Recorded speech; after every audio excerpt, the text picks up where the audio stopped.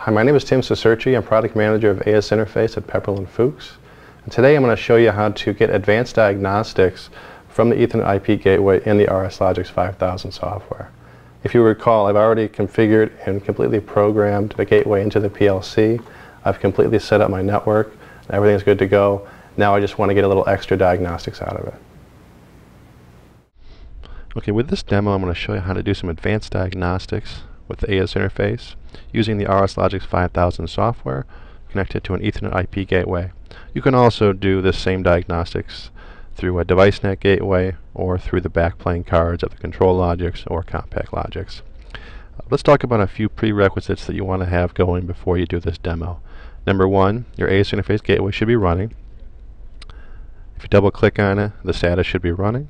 You should be using a assembly instance that maps the long mailbox. You can check this by uh, checking for the assembly instance that you're using. So in this case, I'm using assembly instance 135 171 and you can see that it maps a long mailbox. You can also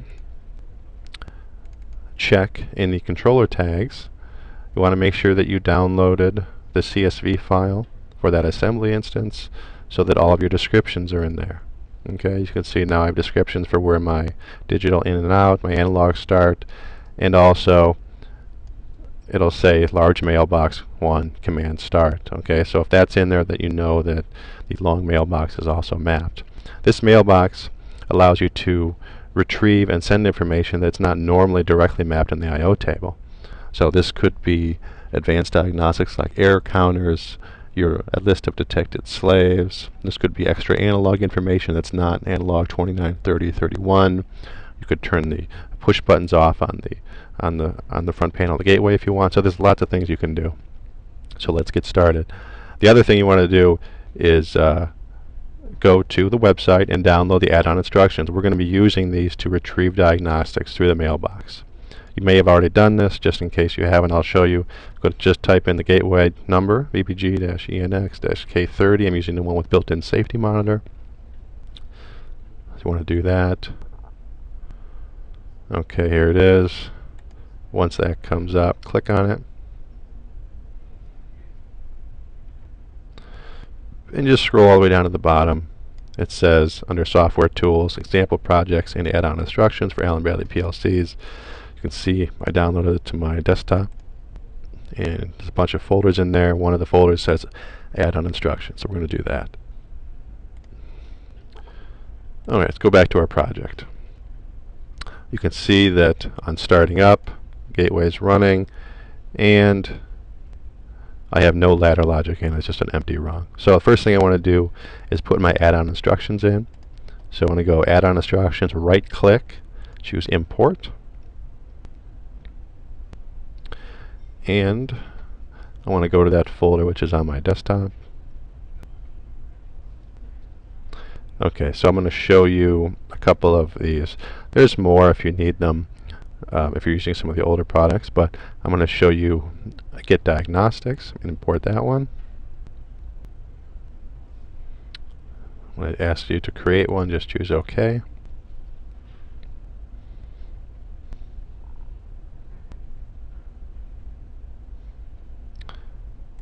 Let's import another one. I'm going to show you also the Get Diagnostics Advanced. This can only be used with the Ethernet IP and DeviceNet gateways. It won't work with the backplane AS interface cards, just because there's some extra functions in there which are not available in those.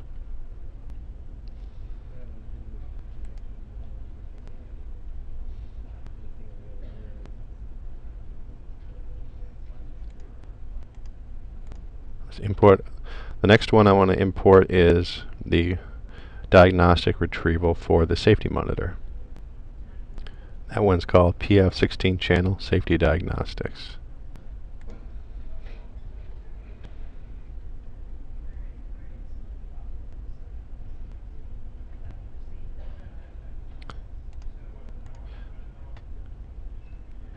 And the last one I want to import is just for analog data. If, for example, you have analog slaves at uh, an address other than 29, 30, and 31, and they're not directly mapped, this might be something that you want to use. So I'm going to use the the read for analog in, set for analog out. This will read the analog data from four consecutive slaves starting at any address you wish, just as long as it's not the ones that are already already mapped.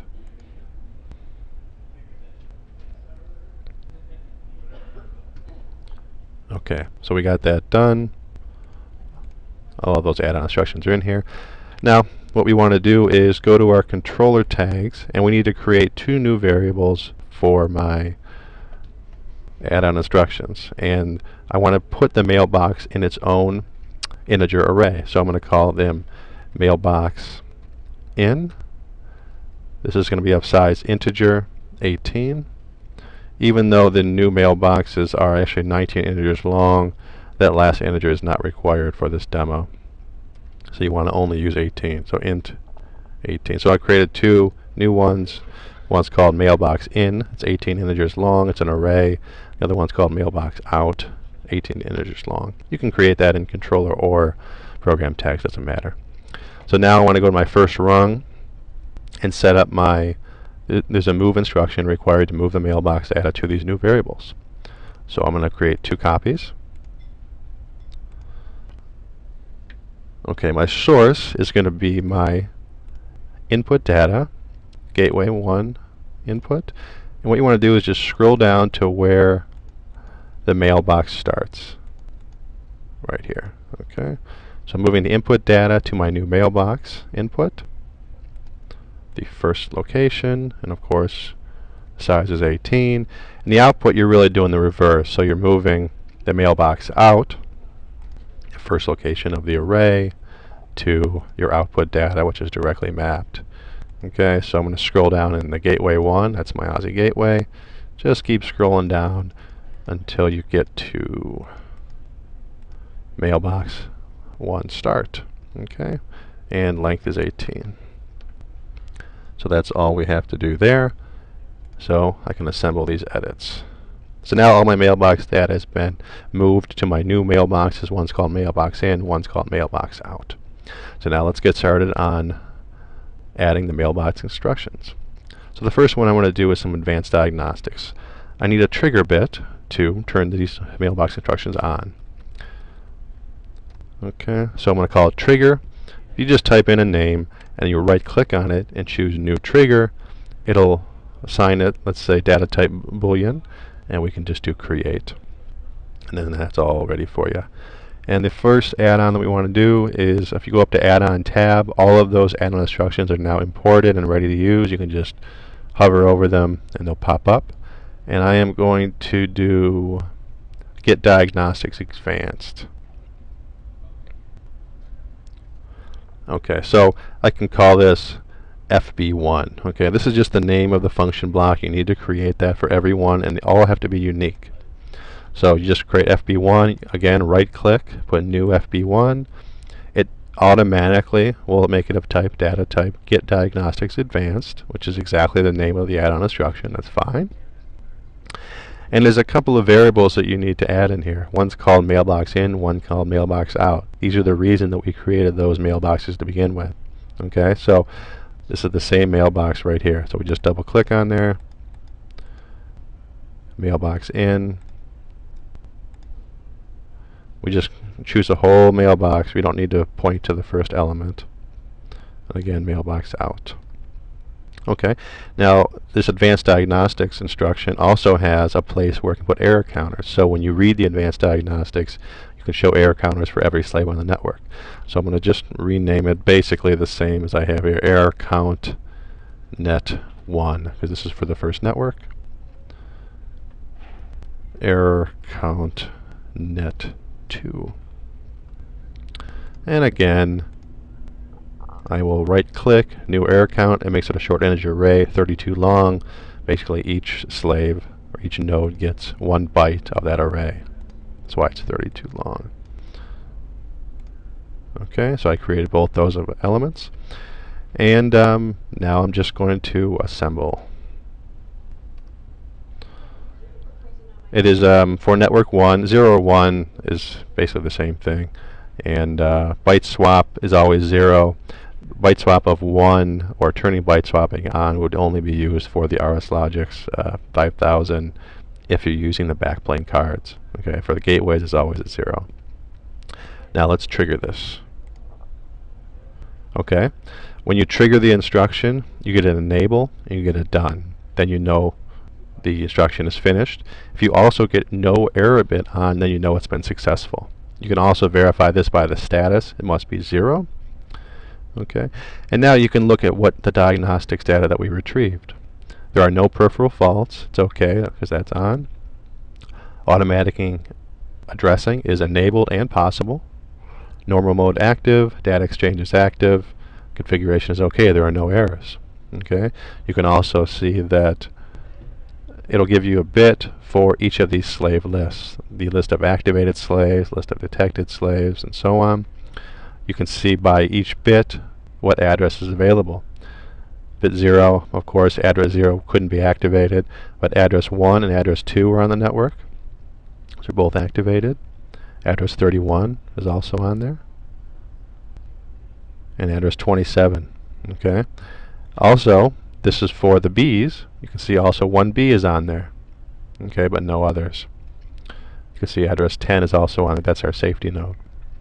Okay, you can see that for all these saved lists. Error counters. These error counters will clear every time you activate the instruction. Okay, so that means once you retrieve this diagnostic information, you want to use it, and the next time you retrieve it, we'll give you the error counters and some of these uh, error information from the past time that you retrieve the diagnostics. So for example, if I want to get new information, this is not updated automatically, you need to toggle the bit, it'll go low. And then for example, if I take one node off the network,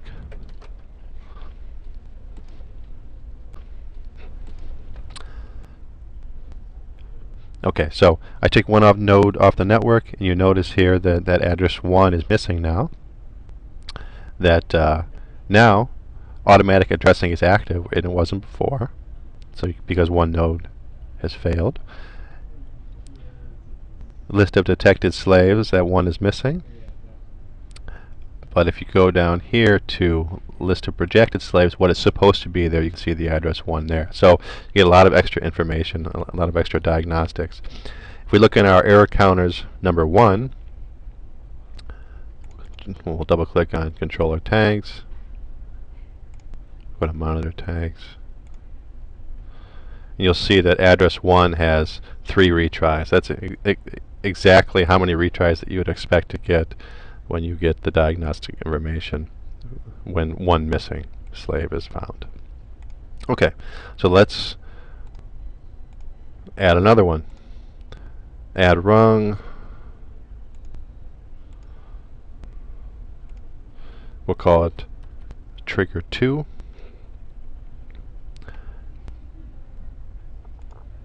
And let's do a safety one. Okay, so I'm going to call it FB2. Doesn't matter what the name is. Right click, new FB2. It's of type 16 channel safety diagnostics. Safety monitor address is 0 because it's internal. The mailbox in and out are the same, so I'm just going to drag it down here.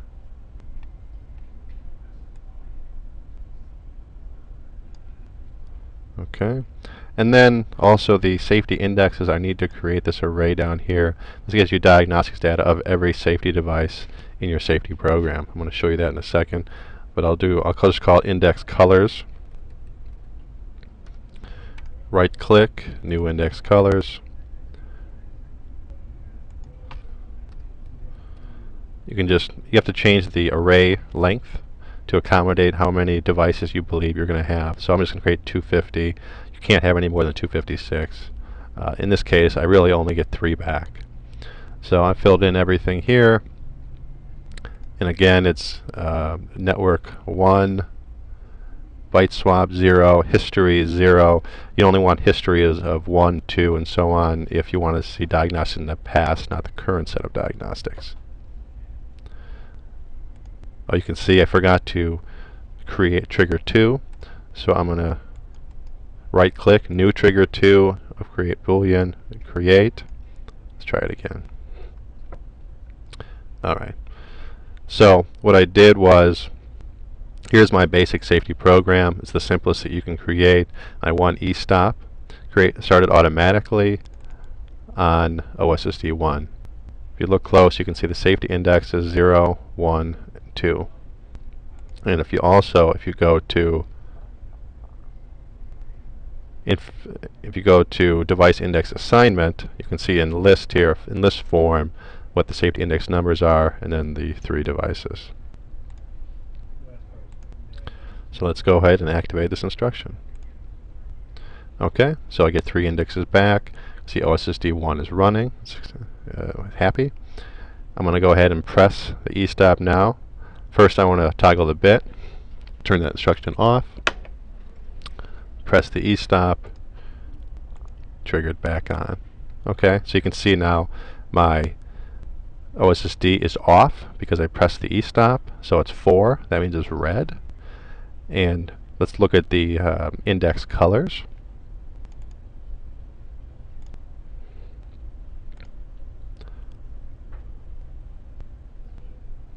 Okay, so we can see here the index colors. They're all 4, which refers to a red color. And if we go into our safety program, we go into diagnostics, we'll see that indeed they're all red. Okay, e-stop's red, start needs to be red because it hasn't turned on yet, and uh, also the output's red.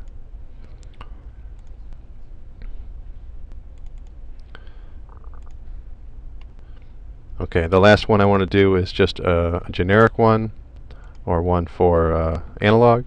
So I'm going to add a rung. I'm going to call it trigger 3. You have to remember that only one instruction can be instruction can be used at a time. If you want to use multiple ones, you can just toggle back and forth between them. Again, I'm going to use trigger 3, put new trigger 3, type boolean, go up to my add-on instructions, this time I'm going to use the read for analog in, set for analog out. FB3. Oops. New FB3 is fine. Address 1. First address I want to get the analog data from, let's assume it's address 1. I don't really have any more right now, but we can demonstrate this. And then mailbox in, mailbox out. This is exactly the same as I've used in the past.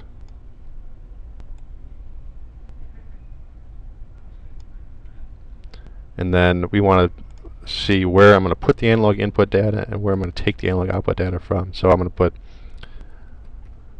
analog out, analog in, analog in, do that first. It's of type integer 16 because you're talking about four addresses, four integers each. That equals a total of 16. New in, log out, create. That's it. Assemble those wrong edits and do a toggle. Okay.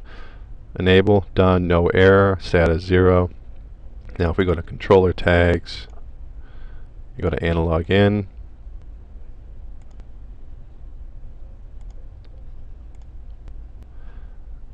it basically has the default. So there's no analog there, but the default is 32,767, and all of these analog output data, which are all zeros, like a 0 to 10 volt, would be also sent to those analog output data. It assumes that the all the analog data, it could be a mix of analog in and, and analog out, will start at address 1 and will be addresses 1, 2, 3, and 4.